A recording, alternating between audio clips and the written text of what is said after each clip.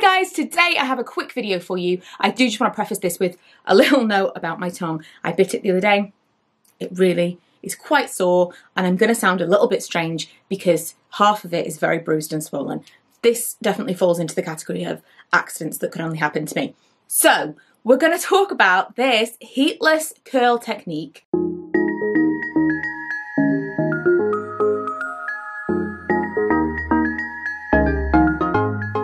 I've used multiple different methods over the years and this is kind of an amalgamation of many. I'm sure you've probably seen this exact one before, um, but I wasn't copying a specific tutorial. I just kind of came to the conclusion one day, I think this would work. And it did, and I kept doing it, and I kept saying I'm going to show you, but I just wanted a little bit of time to make sure that 100% of the time it works. And it does! And it gives you this kind of natural wave, which I love. This lasts for a few days for me as well.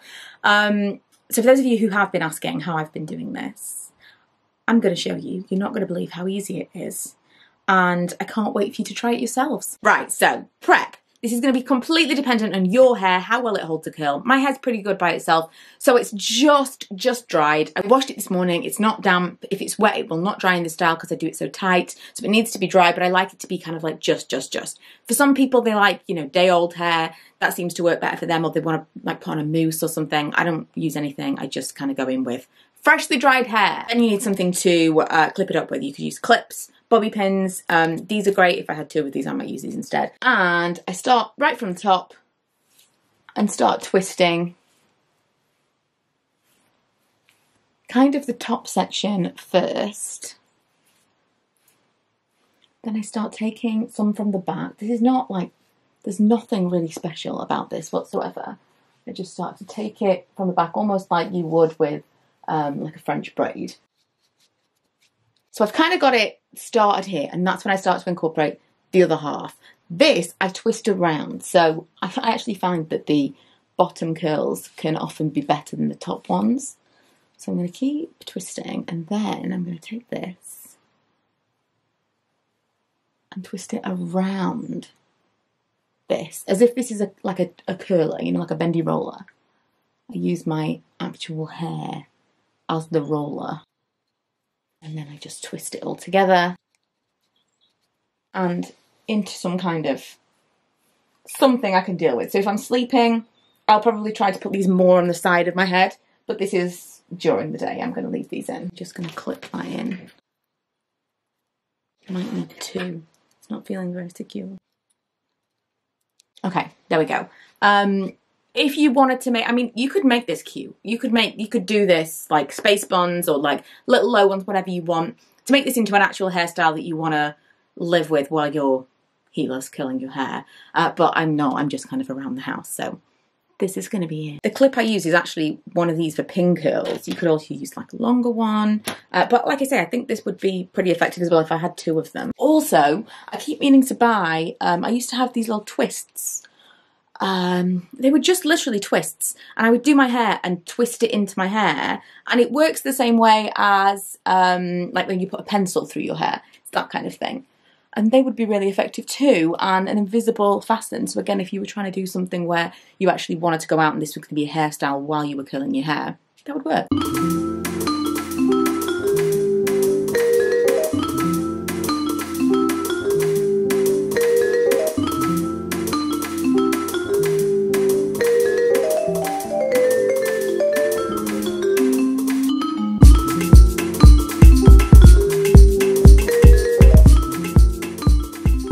Gonna just leave them like this. But ideally, if you do this in the day, it's dead comfortable. So this is 11 o'clock now. I'm gonna leave until the evening and then I'm just gonna show you what it looks like. You can sleep with them like this. It's not the most comfortable, but I will come back later today and let you know what it looks like. Okay, so that was 11 o'clock. It's just about to turn six. So I'm thinking, you know, around a night's sleep. Do we sleep seven hours? I probably don't sleep seven hours, but in theory. Uh, so I'm gonna take them out. I'm a little bit nervous because it's relatively high pressure. Hey, hey. We're in the right direction. So this is how I like to separate it out. I have to admit, my hair feels a tiny bit damp. Didn't feel damp earlier. Maybe it's because it's been raining. There's just water in the air.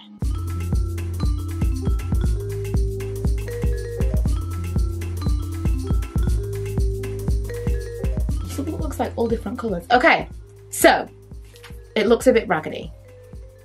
But do you see? Do you see? It's curls!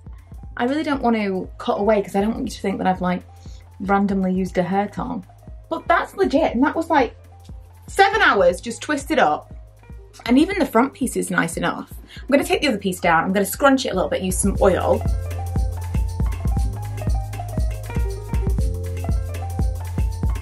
If there are parts that look kind of clumpy, I find you can kind of separate them quite easily. That's the, the key. Now you can brush this out it's nice and wavy, but I want it as curls. So I'm gonna just put in a little bit of oil. This is oil I've had for a million years. Got to be twisted. I literally have no special preference when it comes to like serums and oils, just a little bit so that it's not quite so frizzy.